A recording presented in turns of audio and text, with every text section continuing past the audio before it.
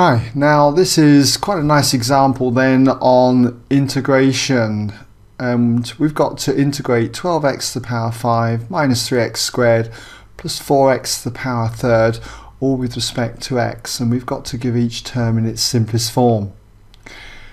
So if I was going to integrate this, let's just put our intro down which is going to be the integral then of 12x to the power 5 minus 3x squared plus 4x to the power a third. And we're integrating that then with respect to x. Now each of these terms has the form ax to the power n. Okay, and we should know that if we've got to integrate terms like this, it's very simple. All we do is just add 1 to the power so that's going to be n plus 1 and divide by the new power n plus 1. Alright, so this is something that you should be familiar with. So for the first term then, what we get is the 12 and then we add 1 to the power so we get x to the power 6 and we divide by that new power 6.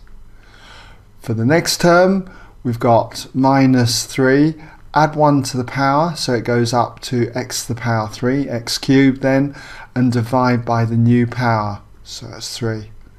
On to the last term here, we've got plus 4, and then we add 1 to the power, so adding 1 to 1 third is 1 and a third, but try not to write that. We always tend to write them as top heavy fractions, so that's going to be x to the power 4 thirds, and then we divide by that new power, 4 thirds.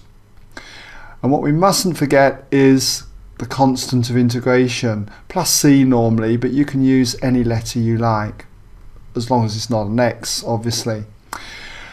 Okay, so we need to simplify these terms. Well, for the first one here, we can see that the 6 will cancel into 12 twice. With this term here, 3 goes into 3 once. And for this last term, well, we'll talk about that when we get there. But uh, for the moment, then, the first term becomes 2x to the power 6. Then we've got minus x cubed.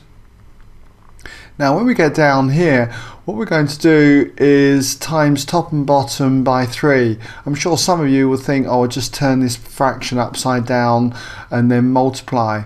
Well, in a kind of way you do, but really we should think of timesing top and bottom by 3. If we times the top by 3, what we get is 4 times 3, which is 12. And if we times the bottom by 3, 4 thirds times 3 just gives us the 4. Alright? And then we've got x to the power 4 thirds, and then plus the constant of integration.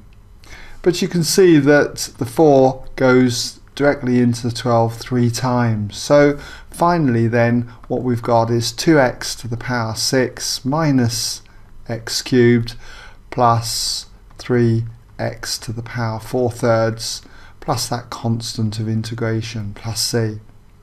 And that should do us, okay?